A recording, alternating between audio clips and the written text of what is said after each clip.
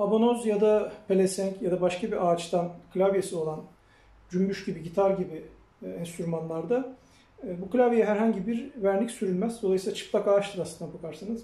O yüzden zaman zaman bunları hem temizlemek hem de korumak amacıyla bir işlem uygulamak iyi olabilir. Bu benim daha yeni tespit ettiğim bir e, cümbüş sapı. Buradaki Gabon abonozu diye biraz renkli bir abonoz. Bunu ben ilk yaptığımda üstüne limon yağı uyguluyorum. Bu Dadario'nun bir markası. Şey pardon Planet Waves'in şurada Dadario'nunki de var burada. Bunu uygulaması çok basit. Bunu tellerinizi değiştirdiğinizde ya da yılda bir iki kere uygulayabilirsiniz. Şöyle damlatıyorsunuz üstüne belli noktalara. Kokusu çok güzeldir bu arada.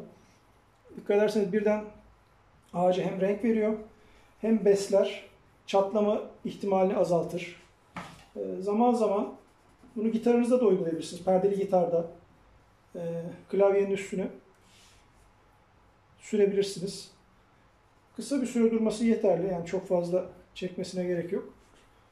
Her yerine eşit olarak yaydıktan sonra çok da güzel bir renk veriyor bak gördüğünüz gibi.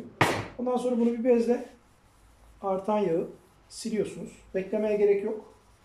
Çok fazla yağ olmasını istemiyoruz bunu. Silip bu şekilde parlatıyorsunuz üstünden.